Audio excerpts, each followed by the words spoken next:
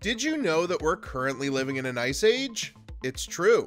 Earth is currently smack dab in the middle of a quaternary glaciation a 2.5 million year long period of advancing and retreating glaciers. For the last 11,000 years, we've been enjoying a brief warm spell, and that 11,000 year thaw has made possible the entire history of human civilization. Everything ever written or carved, every king and queen, god and demon, every city, every empire, all of it exists inside one tiny blip in one short epoch in the endless 4.5 billion year story of this planet, which is just one of trillions. Kinda makes you think, doesn't it? Maybe we don't have the best sense of what time is or how the events of our lives fit into it. It's an uncomfortable thought, but it's worth exploring. Welcome to History Snob. Can you imagine Salvador Dali listening to Michael Jackson, or someone witnessing an execution by guillotine and then getting a movie ticket to see the original Star Wars? These things sound crazy, but they actually could have happened. They're just a few examples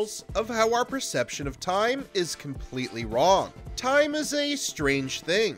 Sometimes it seems to stand still, and other times centuries of advancement happen in the blink of an eye. In a single lifetime, some people experience the Wright brothers' first flight, two world wars, and the moon landing. However, when we look back on history, we tend to compartmentalize events so that they seem generations apart. Take, for example, the life of some very famous artists. Pablo Picasso changed the art world forever with the birth of the Impressionist movement. He first started painting at the turn of the 20th century, with his earliest compositions being works like The Old Guitarist, which was completed in 1903. His most famous work, Le Rêve, was completed at the start of the Great Depression in 1932. So naturally, we tend to think of the artist as synonymous with things like the Jazz Age. But Picasso lived a long life and continued to work, his painting The Kiss was completed in 1969, which means he could have been painting it while also watching the moon landing or news about the Vietnam War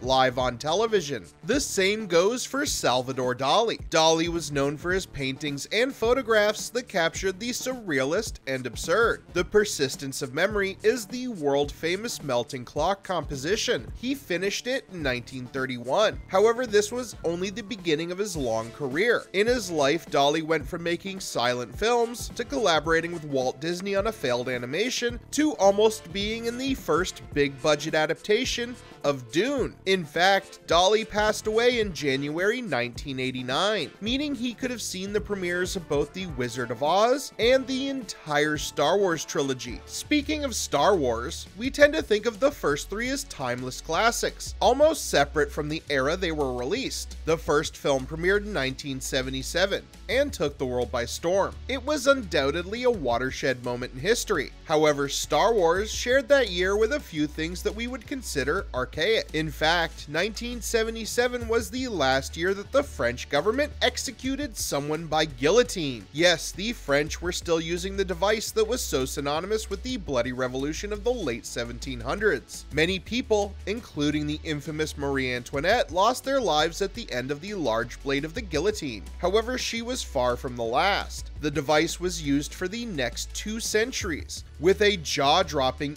eight executions happening between the years 1965 and 1977. That means at the same time the condemned were being led to their execution at the hands of the falling blade, Richard Nixon was fighting for his life in the Watergate scandal. While the guillotine was last used in 1977, it wasn't officially outlawed till 1981, the same year the first space shuttle launched. In fact, space travel is about the most modern accomplishment when it comes to humanity, but it has a lot of overlap with things we now consider to be ancient history. The Wright brothers set mankind on the path to the stars with their first flight in 1903. Their flying machine looks laughable by modern standards, like something no sane person would fly in, but it was only 66 years between this picture and this footage of Neil Armstrong walking on the moon. Orville Wright himself lived a long time after he and his brother invented the airplane. He passed away at 76 in 1948. That means the man who invented flight lived long enough to see the first rockets the V1 and V2 models launched at Britain by Germany.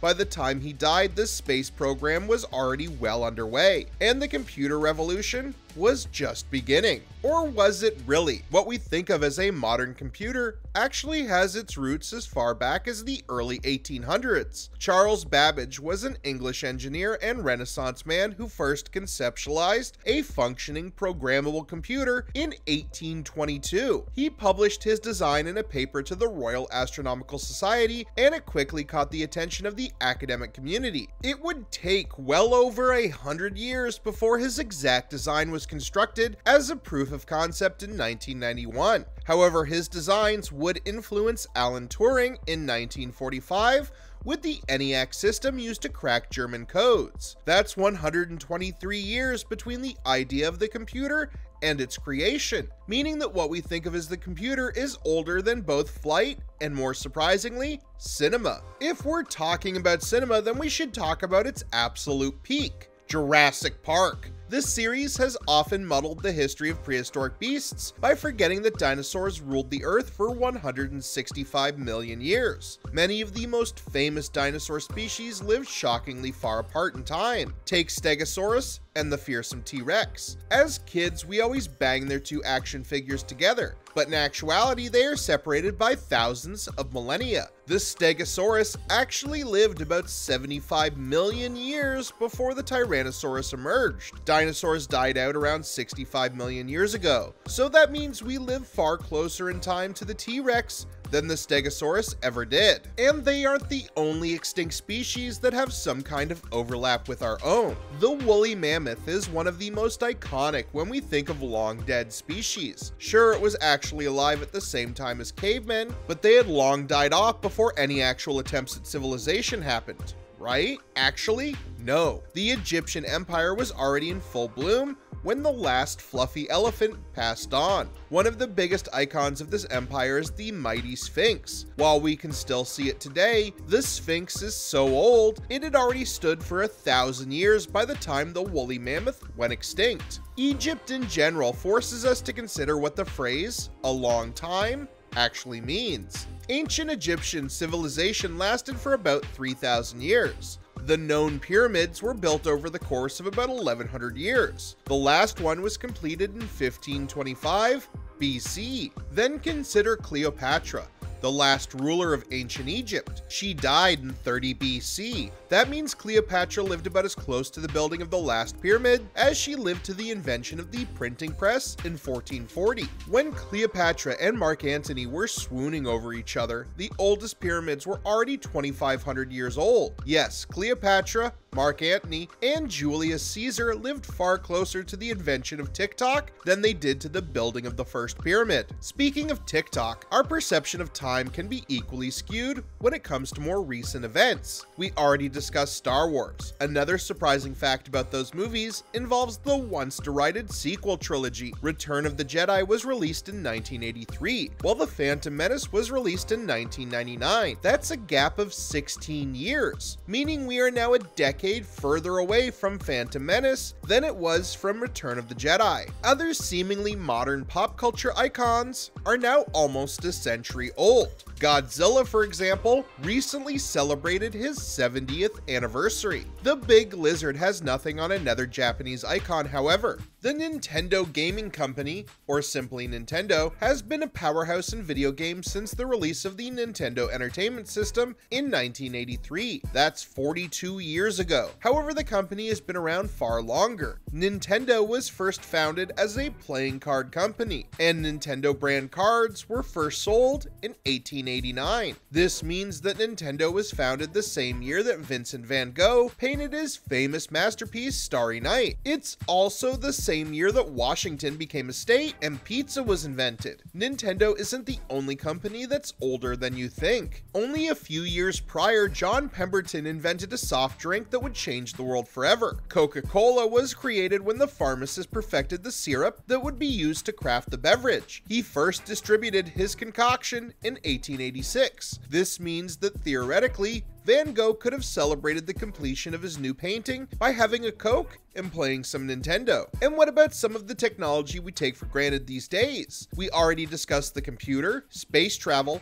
and even film. But what about the more mundane? The fax machine may seem rather archaic today, having mostly been replaced by email and text. But the fax machine is even older than you think. What we think of as a fax system was first patented in 1846. Sure, it was far from refined, and was way more basic than the machine currently gathering dust in your home office, but it was still functional. This means that Abraham Lincoln could have received a fax from Robert E. Lee at the height of the Civil War. There are some other strange facts about America that gives us pause. We all know Harvard is an old college, but did you know Galileo was still alive when Harvard was built in 1636? Harvard is also older than one of the things you probably had to study to get in there. Calculus didn't exist until Harvard was almost 50 years old. Another American institution was part of history for longer than we might imagine. Disney World opened in 1971, the same year the oldest living former slave, Sylvester McGee,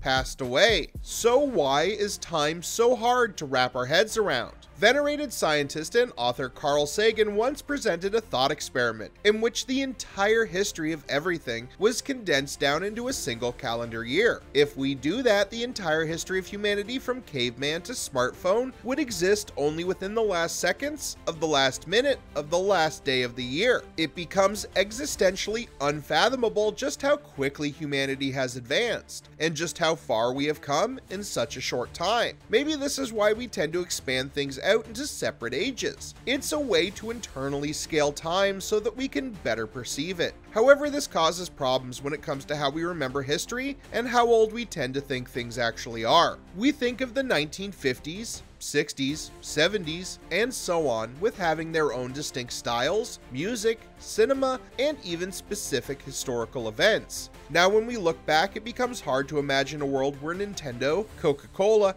and the fax machine shared space with Samurai, the Wright brothers, and even Vincent van Gogh. What surprised you most about this perspective on history and time? Do you know any other people and things that amazingly existed at the same time? Leave a comment and don't forget to like and subscribe for more great videos from History Snob.